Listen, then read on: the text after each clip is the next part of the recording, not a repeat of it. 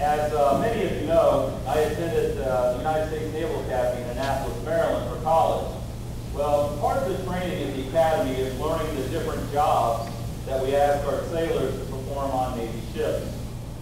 The Academy has uh, these ships called YPs that are used for training. YPs are small by Navy standards, but they're larger than most boats. They're about 110 feet long, 30 feet wide, and about 35 feet tall. Well, um, one time during my freshman year while training on a YP, I did something that had never been done in the Academy's 167 year history. I fell off the boat.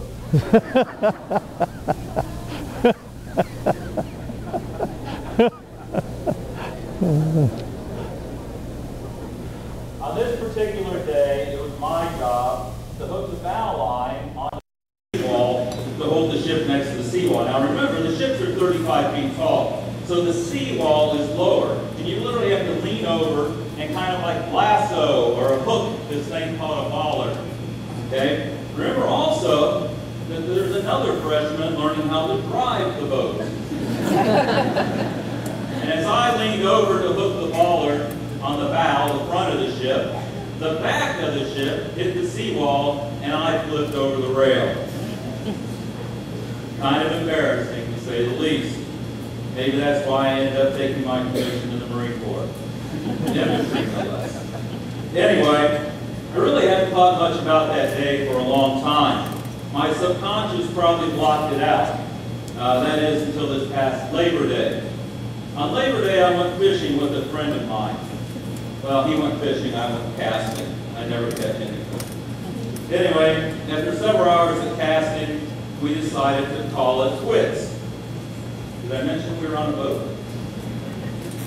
Well, as we were about to dock, my friend says, hey, Navy guy, I hate it when people call me Navy guy, grab the bow line.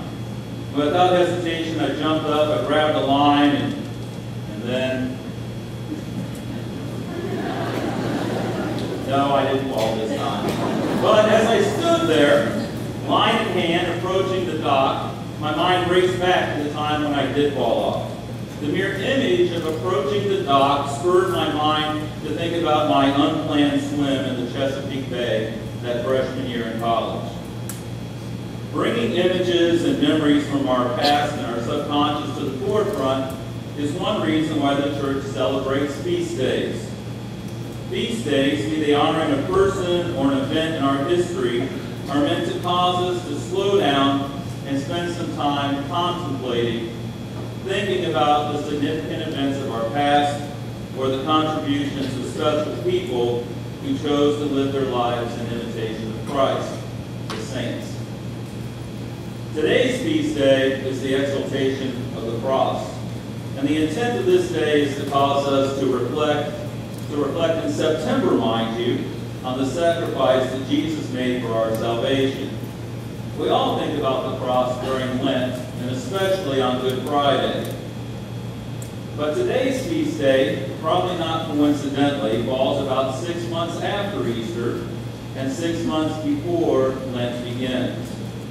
So today's feast day serves as a mid-year reminder of our God's love for us. A reminder, like the crucifix itself, that there is no greater love than to lay down one's life for a friend.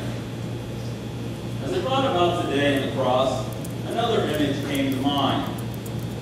I'm not sure why, but for some reason I started to think about Simon the Cyrene. You all know the story. Jesus falls on his way to Calvary.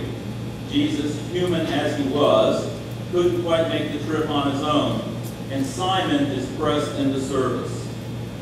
Simon is forced to take up a cross he didn't ask for, and he literally follows in the footsteps of Jesus. Aren't we all like Simon, bearing the burden of some hardship in our lives that we would never choose? Sure we are. Every single day, one of us is dealing with some challenge, some cross, loneliness, grief, depression, anxiety, various forms of abuse, fear, serious illnesses. We all carry heavy crosses. And like Jesus, from time to time, we all fall. Who will be our Simon? Who on this earth will help us and lighten our load? Chances are you're sitting next to Simon right now. Chances are you're sitting with or near a friend who needs a helping hand. Don't wait to be pressed into service and don't wait to be asked. Reach out and help each other. It might be tempting to think that we can't help each other, that our friend's cross is too difficult. But the fact is, the simple knowledge that someone cares about us and wants to help will significantly lighten the load. Lean on me should be much more than a song we just sing at the end of Mass.